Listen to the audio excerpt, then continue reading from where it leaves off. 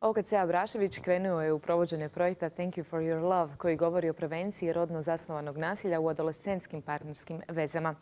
U idućim minutama govorimo o toj temi. Naš gost je gospodin Husein Oručević, kojeg su naši gledatelji navikli gledati ono malo zbiljnijem formatu Zrcalo tjedna, ali evo danas... Je dosta ozbiljna stvar. Da, upravo sam to htjela reći. Možda je malo opuštenija emisija, ali je baš ozbiljna tema. Dobar dan, dobro nam došli. Dobro večer ili dobar dan. Kako kome ovaj kišno vrijeme, nekada nam izgleda da je već pao mrak. E, E, evo, tema dakle o prevenciji nasilja, ozbiljna tema, kazali smo Thank you for your love se zove projekt, e, prevencija nasilja u adolescentskim vezama. O čemu je točno riječ?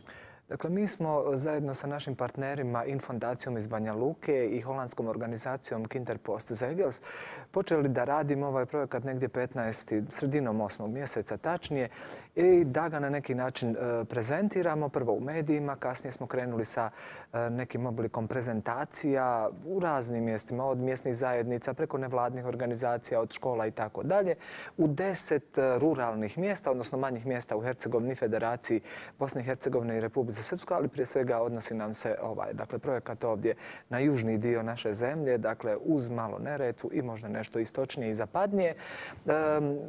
Sada radimo radionice, u toku smo sa radom radionicama koje ćemo završiti već e, sljedeće sedmice, no onda nam slijedi jedan ozbiljniji rad sa izabranicima i izabranicama koje su izrazili želju da idu pisati dakle, projekte na ovu temu te da ih realiziraju u svojim zajednicama, što ćemo raditi do kraja ovog mjeseca i onda imamo ono što je uvijek dobro reći za naše učesnike i učesnice u ovom projektu i za one koji će dobiti ili eventualno se prijaviti preko javnog poziva, o tome ćemo vjerovatno nešto kasnije. Mhm. Imamo 10.000 maraka, dakle male grantove koje e, ti mladi ljudi od 15 do 21 godine svoga života mogu koristiti kako bi zajedno sa nama upozorili na pitanje nasilja u dakle e, adolescentskim, adolescentskoj dobi, dakle od 15, od 15. do 21. godine. Tako, ukratko, od prilike. Dobro, tko se može sudjelovati i kako se oni mogu prijaviti? Kome? E, dakle, mi sada organiziramo na raznim mjestima od osnovnih škola deveti dakle, razred, pa onda kroz srednje škole kao što sam rekao, e, mjesne zajednice, nevladine organizacije, skupine neke e, koje su formalne i neformalne, ove prezentacije, radimo radionice. E, svi oni će dakle proći kroz neki oblik edukacije, moglo bi se reći. Nakon toga radimo trening na kojem će biti u stvari više o pisanju projekta, kakvu formu ćemo u stvari željeti da prezentiramo tim mladim ljudima, u kakvoj formi oni moraju da napišu taj projekat kako bi dobili taj novac. Također, specifičnost ovog projekta je takva da nećemo, dakle, bilo kakve organizacije, škole i tako dalje, dakle, novac će biti direktno uplaćivan mladim ljudima ukoliko njihovi projekti budu kreativno urađeni na ovu temu ili ukoliko one žele provesti određene stvari na ovu temu, e, s tim da ako budu maloljetnici, svakako njihovi roditelji će morati biti upozoreni da je novac, dakle, uplaćen na njihove račune, te osim, dakle, ove priče o nasilju u adolescentskim e, partnerskim vezama, formalnih i neformalnih, uključili smo još jedan segment segment. Dakle, organiziranje, ali i učenje mladih ljudi kako biti odgovoran i obavezan prema projektu, te kako pisati e, budžete, a onda ih i realizirati sa novcem koji dobiju. Imate li podatke koliko je to nasilje zastupljeno? Vraćajući se na temu dakle, samoga projekta nasilja u adolescenskim skupinama, u podnaslovu također stoji kroz inicijative mladih, jer upravo ovi grantovi koje ćemo dijeliti su njihove inicijative ili ono što bi oni željeli urati u svojoj zajednici. E, Istraživanja koja su pokazuju, dakle, koja je uradila Infondacija iz Banja Luke, a mi se strikte na neki način vežemo za tu fondaciju i u smislu metodologije, ali i financiranja, one su radile jedno istraživanje dosta široko u 23 grada u Bosni i Hercegovini. E, možda je detalj koji treba izdvojiti iz tog istraživanja da 62% mladih ljudi koji se nalaze u partnerskoj vezi na neki način je pretrpilo jedan oblik nasilja. E, vjerovatno kada govorimo o nasilju, govorimo o tome da e, je to fizičko ili eventualno seksualno nasilje. Mi se kod ovih mladih ljudi ne bavimo niti fizičkim, niti seksualnim nasiljem. Ono uglavnom se pojavljuje kod odraslih. Dakle, mhm. kada su u braku ili e, preko 25 godina, ukoliko se ne uoče upravo ovi primarna nasilja kojima mi sada radimo.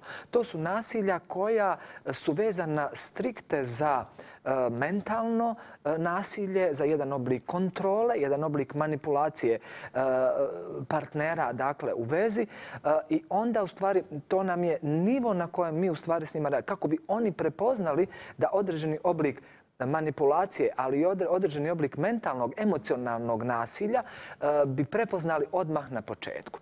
Također ovo istraživanje, jer obično se kada govorimo o nasilju, govori o nasilju u porodici.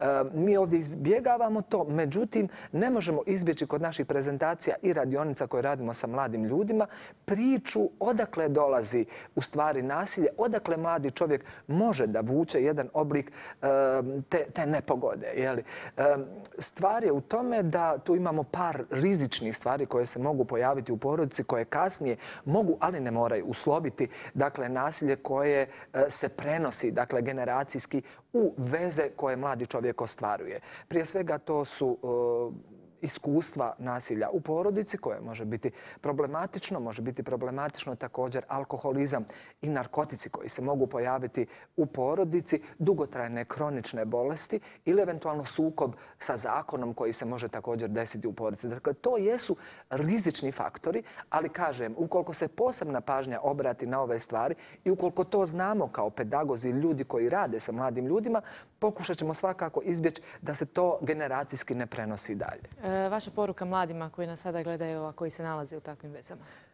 Thank you for your love. Dakle, to je poruka i naziv dakle, projekta s kojim mi radimo e, i na kojem mi radimo. To je jedna pjesma od Anthony and the Johnsons, jednog e, izuzetne zvijezde njujorske koja u stvari na koju se mi referiramo, to je i mhm. himna našeg projekta.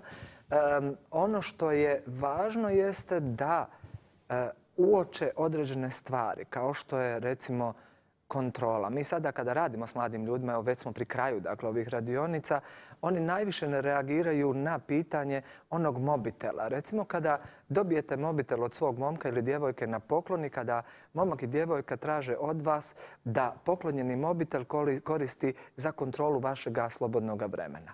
Onda vas zove ili zove ona ili on, dakle cijelo vrijeme pokušavajući na neki način doznati gdje se u svakom trenutku svoga života nalazite.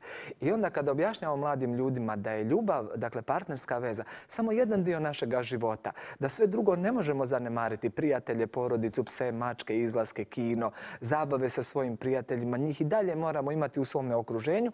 Veza je svakako važna, ali u vezi se da dogovoriti vrijeme koje možemo posvetiti jedni drugima. Kontrola u kojem pokušavamo znati cijelo vrijeme gdje se naš partner i partnerica nalazi, graniči sa jednim oblikom nasilja koje, nasilja koje može kasnije da pređe i u ozbiljno nasilje u tome da kaže pa dobro, dao sam ti mobitel, gdje si ti, šta radiš, zašto se nisi javila. Dakle, to jeste jedan oblik kontrole. Također, Eh, vrlo često govorimo mladim ljudima u nas ovdje na Balkanu se vrlo često govori da ako nije ljubomoran, onda i ne voli. Ili ako nije ljubomorna, onda i ne voli.